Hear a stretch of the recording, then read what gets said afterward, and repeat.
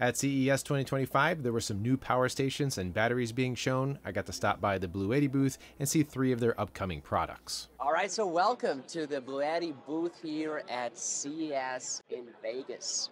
And we've got our new Apex 300. All right, tell me about it. Now, Apex 300 has the battery built in in the main unit. Oh, that's different than the old style where we just had the, the head unit with the extra batteries. So there's a battery in there. Yeah. Looks like it's uh, almost 2,800 watt hours. Exactly, and you can connect six expansion batteries. In addition to the main unit, you have roughly 18,700 watt hours. And then over here, you were explaining how you connect the battery in, which I guess is over here, and you Yeah. can use a 90 degree cable. Absolutely. No longer those big ones that stick out No. and get in the way. Nice and clean. This unit is both 120 volt and 240 volt. We have this switch right here, and it's a standard 240 volt output. All right, a 200, a standard 240 volt output, and you can just flip this. Yeah. So people can, if they have a generator inlet box, they can plug right into it directly into here.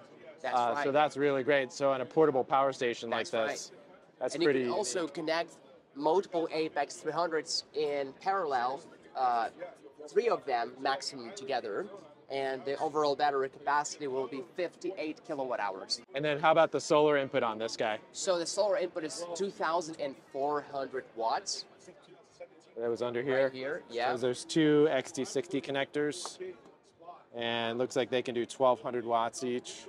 Or they're rated for 1,200 watts each. Can this do anything else that's uh, unique, special? Another special thing about it is that we have a bidirectional RV charging. RV charger. Oh. So both input and output, it goes both ways.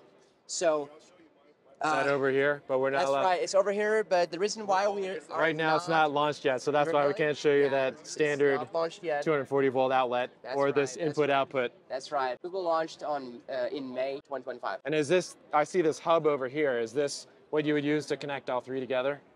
That's right. So it's a smart A1 hub. Yeah. You can connect three of them together. Yeah. And then, uh, Right. are we allowed to look at those output ports? Yeah.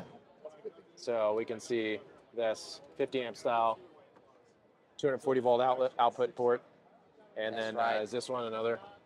Okay, so that's another 240. That's the 30 amp style. All right, so here's another thing: the Energy Pro 13K. This is coming out in a couple of months. This is brand new from Bluetti, and I have my friend here, Kenneth, to tell us a little bit more about it. Can you tell me what's different about this compared to other power stations or other solutions that are out there? Sure, yeah. So uh, the Bluetti EP1300 is uh, a full hybrid uh, inverter. So all of the rooftop solar would come in on the DC side, which you're looking at right now, and that would charge the batteries. If the batteries are fully charged, then it would export to the grid. Um, it also can back up household loads and uh, provide total isolation without the need of a transfer switch of the of the household loads. So Okay. there's grid lugs, and then there's the backup lugs, which are right there.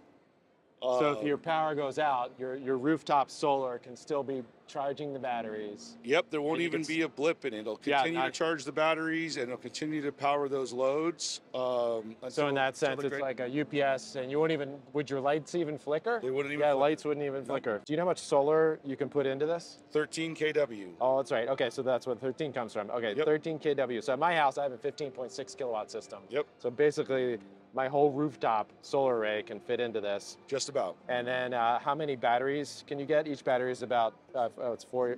4.8 kilowatt hours. Yep, so four batteries, so just about 20 kWh can go into each one of the E EP1300s, and you could run three of them in parallel. So Bluetti's also coming out with an AC coupled battery, has prismatic cells in it, which makes it smaller versus the uh, cylindrical cells, so they can put more energy in a smaller space. And it's meant to connect up to the Bluetti Smart Hub here, and then this thing has an automatic transfer switch in it. So if you had the power go out, then it would just switch to providing power from the battery. And then you can just hook in your main or your backup loads sub panel right there. And then these breakers are for adding more batteries. And then the new E EP1300 can also work with this system. So if you have this in, inputting your solar, you can connect it up to the hub. And if you want more capacity, you can use these batteries or max that out, or if you want even more capacity, you can add these batteries uh, into the hub. So I didn't get any pricing information on these three items, but they are supposed to be released in May, so that will be forthcoming.